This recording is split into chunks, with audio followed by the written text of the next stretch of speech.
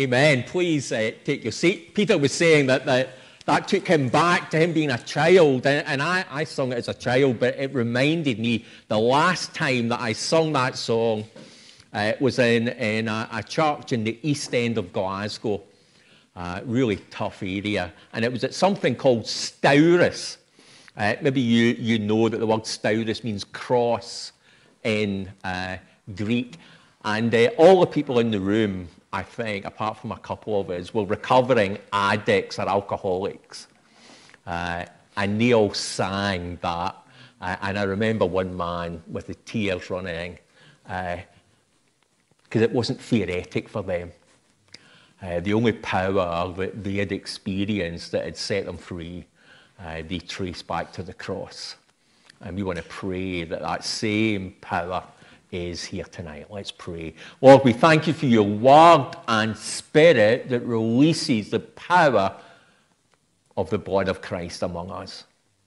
And Lord, uh, we pray for your gospel, your word, to be powerfully at work among us tonight. Amen. Amen.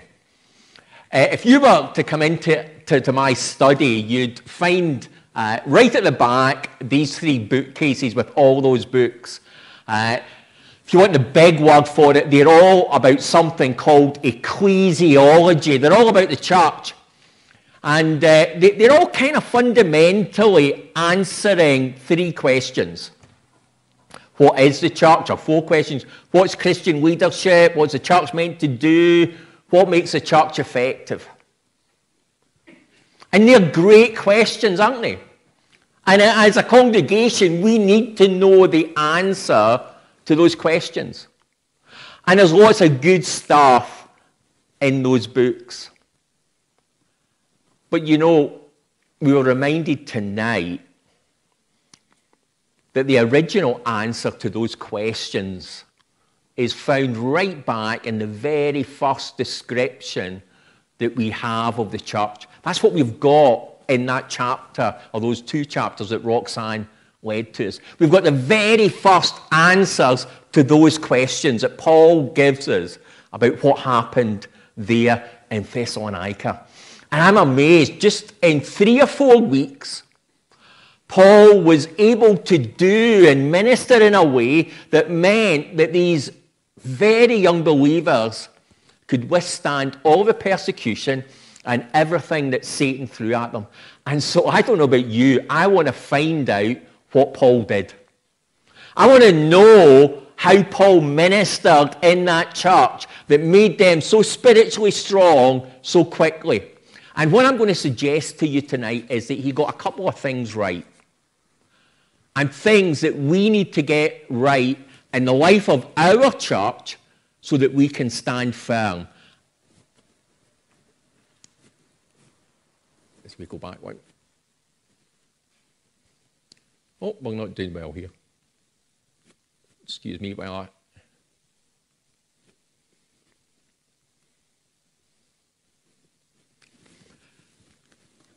He got his purpose right. He got the leadership right and posture right. I mean, we're going to be thinking about this as we move on. He is here. So we're going to look at these four things and think about their implications for us as a church. And right here, Paul answers the, the, the kind of most fundamental question that we could ask. If we get this question right, the likelihood is that the rest of them will be right. And if we get this one wrong, everything else will be wrong. So, what's the purpose of the church? Why do we exist? What's Westlake all about? Well, Paul says, on the contrary, we speak as people approved by God to be entrusted with the gospel, and we're not trying to please people, but God who tests our heart. Paul says there that his number one priority, the single biggest purpose of the church, is that they please God. And everything that we do as a congregation, all of our ministries, this is our purpose. Our great calling and everything that we do is to please God. And that seems so simple, doesn't it? But let me tell you, after nearly three decades of church leadership, this is tough stuff. There is enormous pressure on us to do what pleases people. There's enormous pressure on us not to do certain things because we'll upset people. There's enormous pressure to do things just because they'll make people happy. And yet, what Paul is saying is that the filter that he put every decision through was does this please God? And so, for all of us who are in leadership here and whatever we're in leadership of, we need to keep asking ourselves are we doing this for the right reasons? Are we doing it primarily to please ourselves? Are we doing it to please other people? Or is there a great passion here to please God? And that's our big purpose. But there's another one added to it. C.S. Lewis famously once said, that the church exists for nothing else but to draw men into Christ and to make them little Christ. And here's the important part. He went on and said, if they're not doing that, all the cathedrals, the clergy, the missions, the sermons, and even the Bible itself are simply a waste of time. And Paul would have absolutely agreed with that because C.S. Lewis is echoing Paul.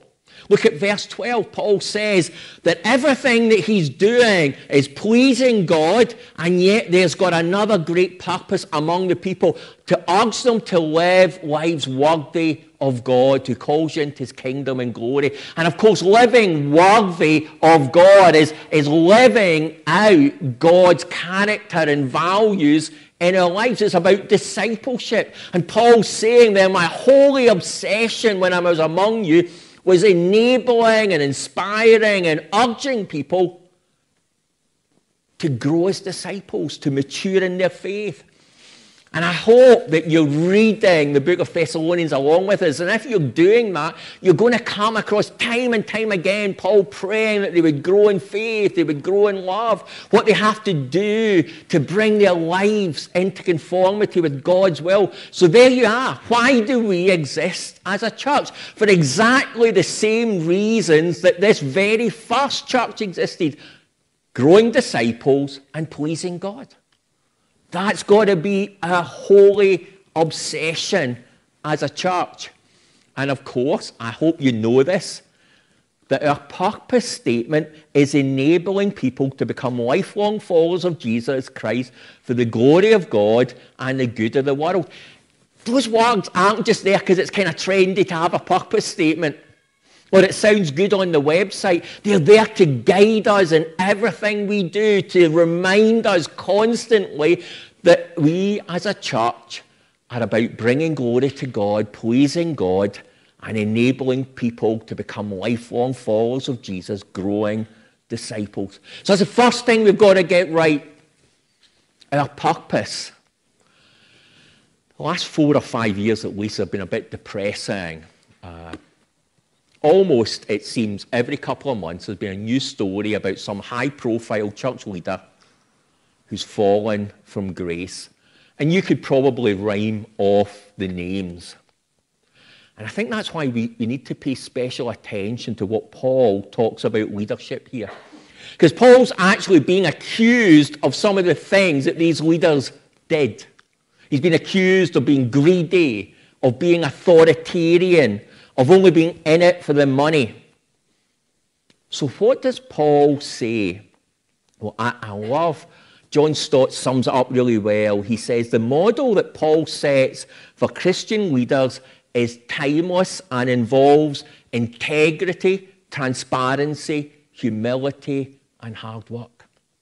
Wherever you serve in leadership as in this church, our leadership is to be marked by integrity and transparency and humility and hard work. And what Paul says right the way through that passage that Roxanne read, read was he was saying, as a leader, my motives are pure, my methods are above board, and my message is truthful. And that's what we have got to be able to say too. Wherever we serve. Nothing's changed. Christian leadership is still marked by integrity and transparency and veracity. And that's what you've got every right to expect from every one of us who've got leadership positions in this church.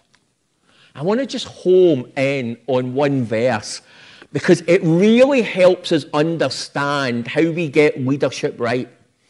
Paul says in verse 10, kind of summing up everything else he said about his ministry, you are our witnesses, and so is God, of how holy, righteous, and blameless we are among you.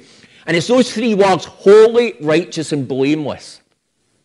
Because they're reminding us that to get our leadership right, we need to get our relationship in three different directions right. And this is what he's talking about here. He's saying that to have leadership right in a church, leaders have to have a right relationship with God. That's what holy means.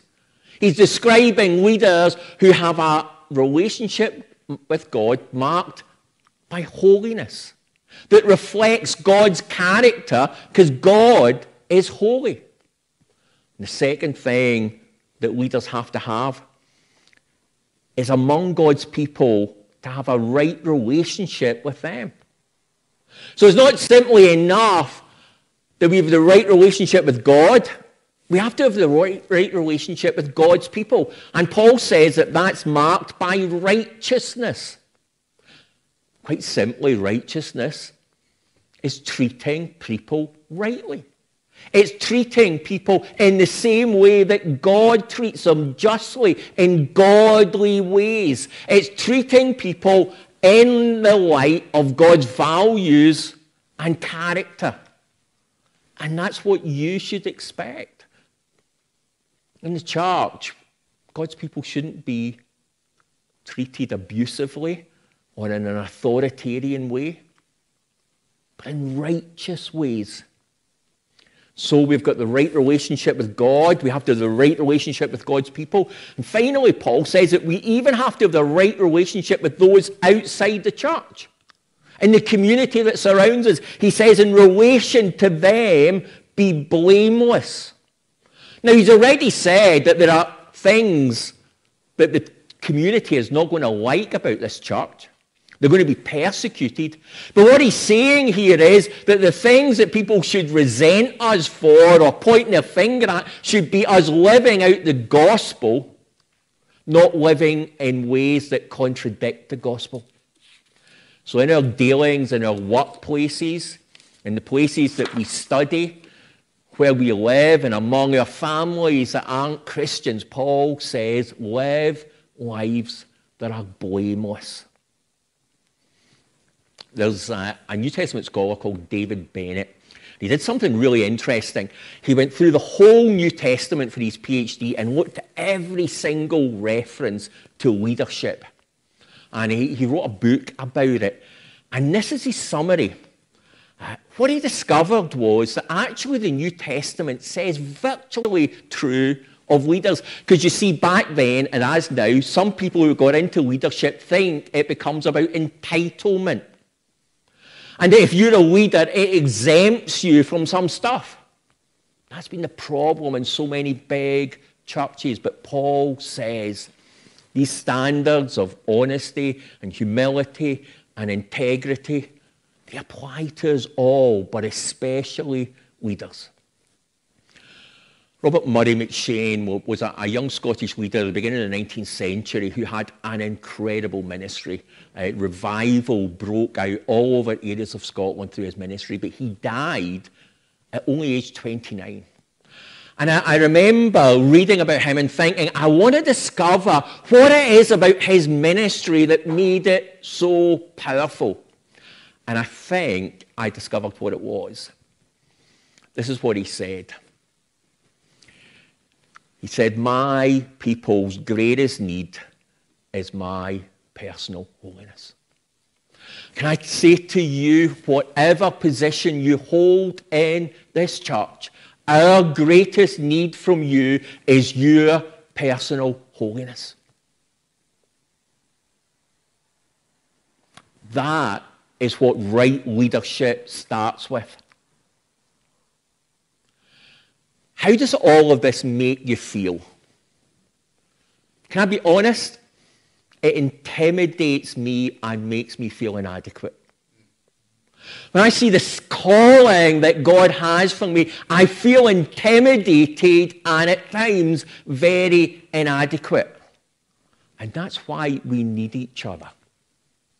Uh, some of you might remember that just before Christmas, I sent you out something called Leadership Shift. And it's just a little questionnaire to help us reflect on our leadership. Now, I know that Christmas is busy and everything else, but if you haven't filled that in, do you know I'd really encourage you to do it? Just to reflect on your leadership. In fact, I'll send it out again this week. But here's the important thing. If I feel inadequate and inadequate, uh, intimidated, what I need is to be inspired, to do better, to be equipped. And there's something that we've been planning for about 18 months as elders. We've not been able to do it because of COVID, and we thought we were all zoomed out, so we didn't want to add in more Zoom stuff. So about every two months, we want to have an evening for about an hour and a half called Inspire where we inspire each other as leaders, where we help each other grow as leaders, where we pray for one another as leaders. And we're going to have the first one on the 24th. That's a Wednesday here at half past seven. We're going to reflect a little bit on this. Paul uh, and Becky are going to help, help us think about how to be spiritually healthy as a leader. And we're going to think about some of the plans that we have as a church I'm going to send out an email inviting you this week. Please, if you can make it, please join us. So we've thought about the right purpose. We've thought about the right leadership. Let's think about something I'm going to call the right posture. It's in this. Sorry, Wednesday. Wednesday, have I got that wrong? Wednesday the 24th. 23rd, sorry, 23rd. If you're watching at home, excuse me, 23rd. I think this is maybe one of the most important verses in the whole of the Bible for understanding how we change. Paul says, You received the word of God, which you heard from us, and you accepted it not as a human word, but as it actually is, the word of God, which is indeed at work in you who believe.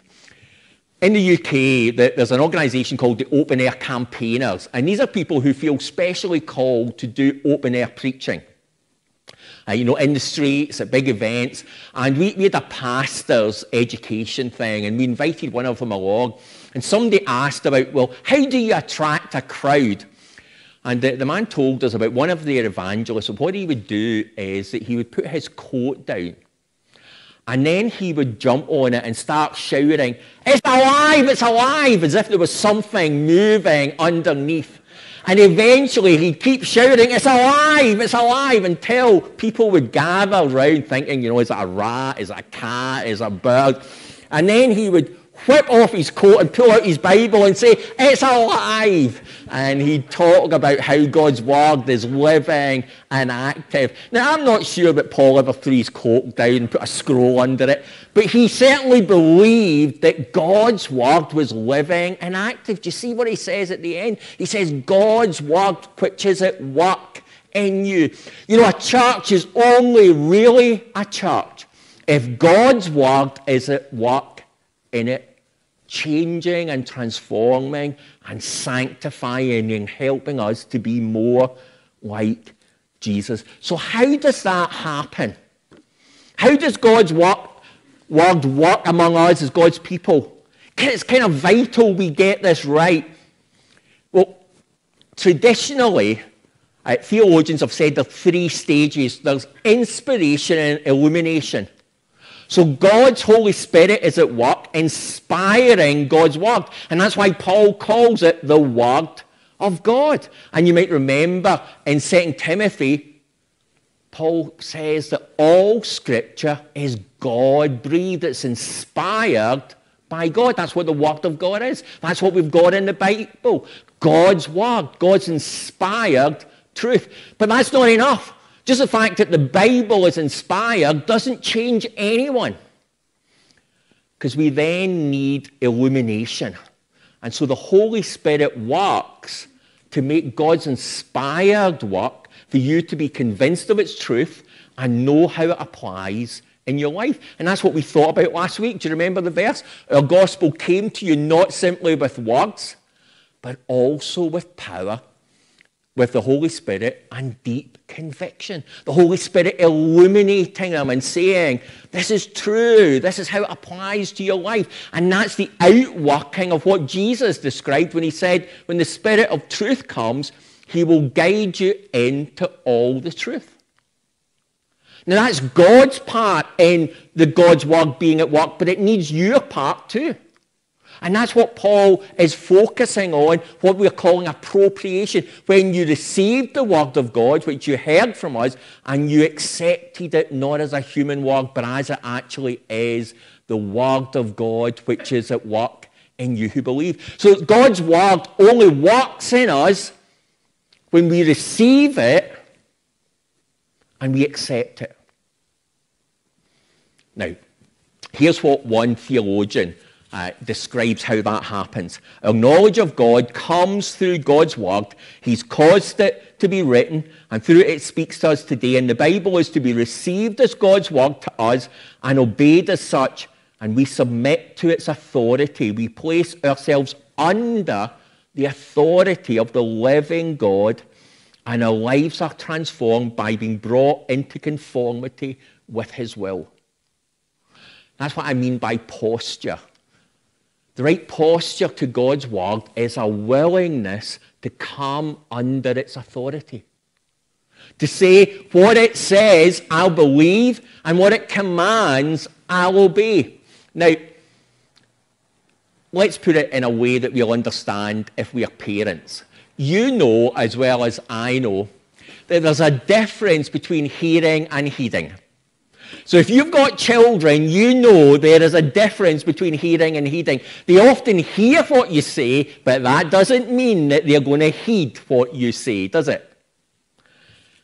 It needs hearing and heeding, and that's what Paul says. He says that we have to hear it. He says, when you received the word of God, which you heard from us. Now, you need to remember, back in Paul's day, people didn't have their own copies of the Bible. It had to be read. So the only way that you received it was by hearing. But of course, it's different for us, isn't it? We've got our own copies of God's word. We can watch it on YouTube. We can listen to it on radio. There's lots of ways that you receive it. But simply receiving it isn't enough. We've got to heed it. You accepted it. And what it means is you accepted it as authoritative. You came under its authority. You obeyed what it said. Listen, here's what it means. You can't heed what you don't hear. We can't heed what we're not hearing and receiving. So let me ask you, how many times did you receive from God's word last week? How many times did you read it? How many times did you hear it? Because you can't heed what you're not hearing. But that's only half of the equation, isn't it? Because it doesn't matter what you hear if you don't heed. Isn't that what James meant? You remember what he said? Don't merely listen to the word and so deceive yourself. Do what it says. So God's word works in us when we hear it and heed it and come under its authority. And the final thing we need to get right is fellowship. I was reading about a survey. It was very interesting. It was first done in 1985. And it asked people on a questionnaire over the last six months, who are the people with whom you've discussed the most important things in your life? And in 1985, 59% of the people who filled it in listed three or more people that they could discuss the most important things in their life. And so what they, they did was they repeated that survey now after COVID, or kind of what we hope is the end of COVID. And the most common number of friends with whom people would discuss, you want to guess what it was? Zero. Zero. 25% of people said that they had no one. That was the biggest percentage that they could discuss their life with. And so the author said, one out of every four of us is walking around with no one to share our lives with. And that means some of us here tonight, and some of you listening on live stream, have no one that you can really share your life with. And that is such a tragedy, especially among us as God's people, because Paul says exactly the opposite. The word fellowship isn't mentioned in these two chapters, but it's probably the best description of fellowship in the whole of the New Testament. And if you want to understand what fellowship is, what real Christian fellowship is, and how it happens, it's verse 8. And Paul says, Because we loved you so much, we were delighted to share with you not only the gospel of God, but our very lives as well. And in fact, in the Greek, it says that we shared the depths of our soul with you because you became beloved to us. We might say today that he bared his soul. He was completely open and honest with these believers about what was going on in his life. And his relationship with these other believers was marked by authenticity and vulnerability. We used to have, when I was in Bible college in Manchester, older retired ministers in to speak to those of us who wanted to be pastors, and they would share their wisdom. And one of the things that the older pastors said was, don't ever make friends in the congregation. Uh, you, you can't have friends, because and you don't want to show your vulnerability. Now, I kind of understand that they didn't want pastors to make cliques in churches, but I fundamentally disagree because of this. It doesn't matter who we are, we are called to share our very lives with one another. And you know, when we do that, amazing things happen. Don't know if you noticed that the language of family is just shot through this whole passage. Mother, father, children, orphan. This is how God's family works together. And Paul said, just as a nursing mother cares for her children, we cared for you. We loved you so much that we shared our very lives. For you know that we dealt with each of you as a father deals with his own children, encouraging and comforting and urging. And night and day, we pray most earnestly for you.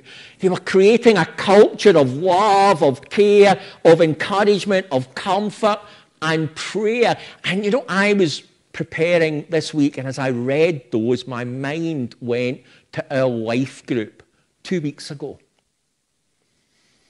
And people just shared the tough stuff that was happening in their lives about problems in relationships and about bereavement, about all sorts of tough stuff.